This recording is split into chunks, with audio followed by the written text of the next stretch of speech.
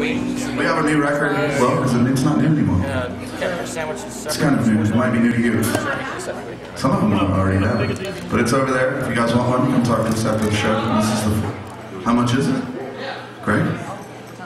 Ten dollars. Ten dollars. I'll take one. All right, excellent. so, this song is the first single off that record. It's called Conversation, and it goes like this.